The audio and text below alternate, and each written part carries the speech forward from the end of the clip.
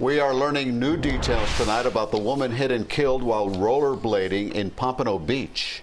She died following a car crash that was so violent it split a car in two, scattering debris everywhere.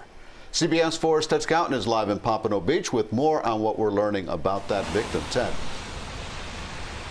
Yeah, Elliot, uh, we now know the name of the woman who died. BSO tells us she is Aline Taya Acosta. She was killed uh, right back there on the other side of the road while she was rollerblading on that bike path. She was hit by a car. That car ended up crashing into the tree. Cell phone video shows the moments after a violent car crash. It's very graphic. We're not showing all of it. The hit was so powerful, it split the car in two after it slammed into a tree, leaving one part up against a fence, the other in the middle of the road. There was also a woman on rollerblades, Aline Taya Acosta.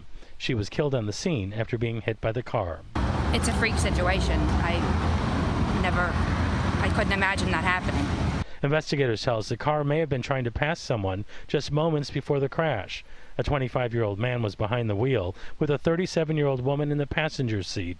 They were both ejected. The lady that appeared to be ejected from the passenger seat, I saw a wig laying uh, right there by the door, and then another uh, male laying in the street. It looked like he got ejected from the driver's side of the, of the car.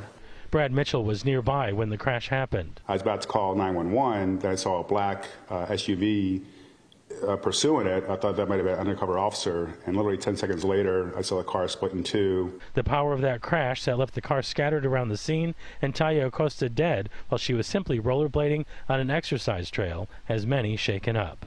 It's horrible, horrific. I, I mean, I, I come here every day and walk, and I see people speeding, trying to pass, but uh, I never thought anything like this would happen.